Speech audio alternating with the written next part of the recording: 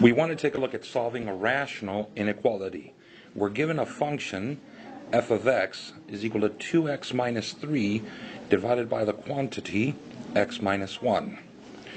Now we want to solve symbolically, meaning we're going to be doing some algebra.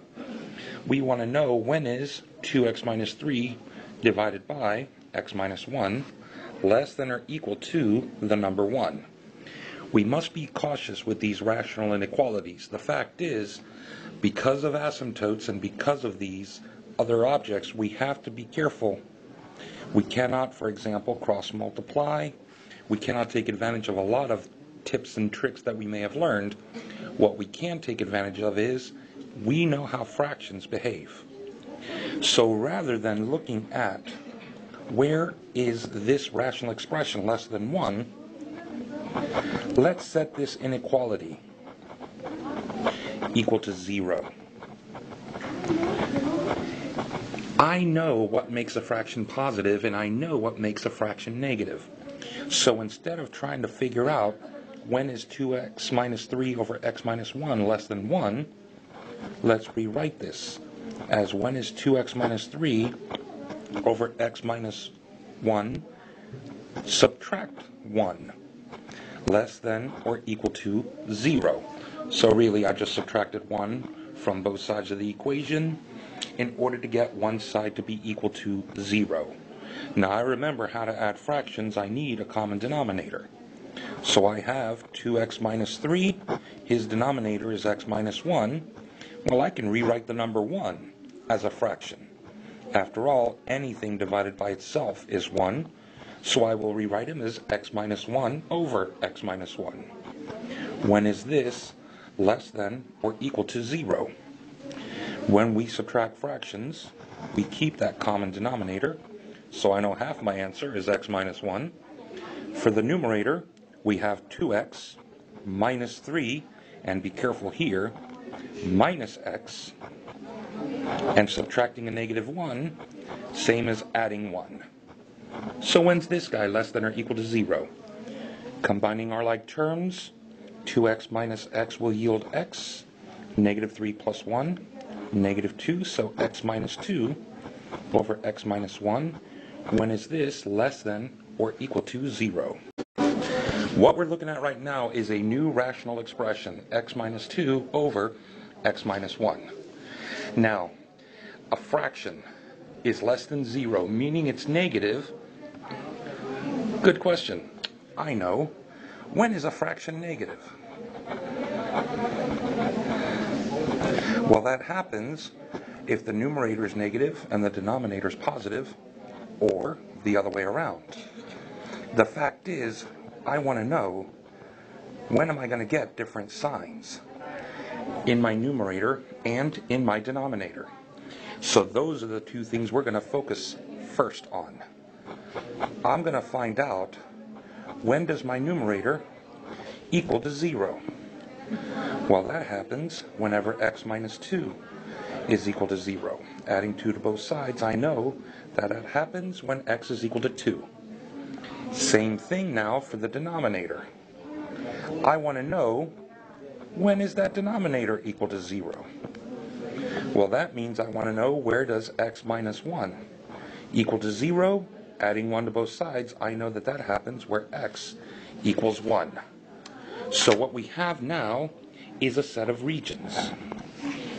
I know for a fact my numerator will change signs, go from negative to positive at one point. My denominator will change signs, go from negative to positive at another point. Now it's time to take a look at the total package. We have three regions. Our first region starts at negative infinity, goes all the way to the number 1.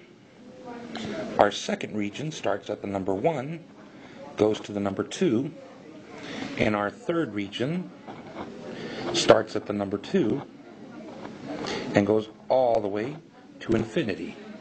We're going to have sign changes here, but luckily we can use function values to let us know is this fraction, this rational expression, going to be positive or is it going to be negative? So we can do some tests. I want a number that's less than 1. How about the number 0? If I plug the number 0 into my original function, f of 0 is going to be 3. That is positive. So I know in region 1 we have positive values. I can test something in region 2, something between negative 1 and 2. And we can actually take advantage of our function. When I take a look, I can test, oh, I don't know, 1.5. That's definitely between 1 and 2. f of 1.5, I did not do it for the first one, I'll do it now. First value, function was actually 2. This one, keep in mind what we're testing is against this function. So 1.5 minus 2 divided by 1.5 minus 1, this numerator is going to be negative. The denominator is going to be positive. I know I'm going to get a negative answer.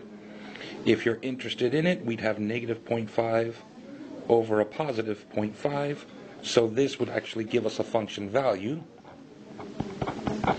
of negative 1. Nice to know, but not necessary. I was only interested in when is it greater or when is it less than. Finally, we can test our third number, something from 2 to infinity. Why not the number 3? And when I test the number 3, plugging into our current function, 3 minus 2 over 3 minus 1, that's going to give me 1 half. Don't really care about the function value. All I care is that it is positive. So for our solutions, there was only one region that gave us something negative. That is something less than 0. So for our solution, it would be the region starting at 1 and going to the number 2. Now take a look at the original inequality. It did carry the less than or equal to symbol. We must be careful here. At the number 1, I can't evaluate f of x at all. x minus 1 in the denominator means the number 1 makes the function undefined. So I will have a parenthesis around the number 1. The number 2, I could certainly plug into my function. It is defined because it was less than or equal to. It will carry a bracket. Be careful. Normally we're tempted when we see the less than or equal to to put brackets immediately. The only reason this guy carries a parenthesis where x equals 1 is because 1 is not valid in our original function. We had a function f of x, but the number 1 is where our asymptote would be. It makes the function undefined, so we cannot use it. Our solution is strictly the numbers starting at 1, going to 2. Does not include the 1, but it does include the value 2. All right.